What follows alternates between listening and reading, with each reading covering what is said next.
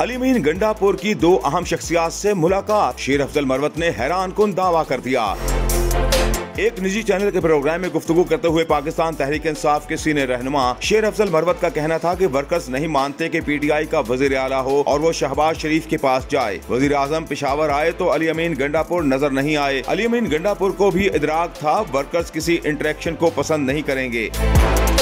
अली अमीन इस्लामाबाद में वजी अजम से मुलाकात करके पैगाम देना चाहते थे की आईनी तकाजों से वर्किंग रिलेशन चलाया जाएगा। सवाल किया गया कि क्या खबरें आ रही हैं की अली अमीन गंडापुर की वजी अजम से मुलाकात के अलावा कोई दो और मुलाकातें भी हुई हैं और ये मुलाकातें दो गैर सियासी शख्सियात के साथ हुई हैं। क्या आपको इन मुलाकातों के हवाले ऐसी कोई डिटेल्स हैं? शेर अफजल मरवत ने जवाब दिया कि मुझे नहीं लगता कि ये खबरें दुरुस्त हैं, क्योंकि ये मैंडेट अली अमीन गंडापुर के पास नहीं है कि वो उन लोगों से मिलें। वज़ीर आज़म से मिलने के बाद अली अमीन गंडापुर के खिलाफ एक कम्पेन शुरू हुई है। मैं इन खबरों को भी इस कम्पेन का हिस्सा समझता हूँ। ये नहीं मुमकिन की वो इतना बड़ा फैसला खुद ऐसी करें। वज़ीर आज़म ऐसी मुलाकात करने आरोप भी इमरान खान कोई ज़्यादा खुश नहीं थे।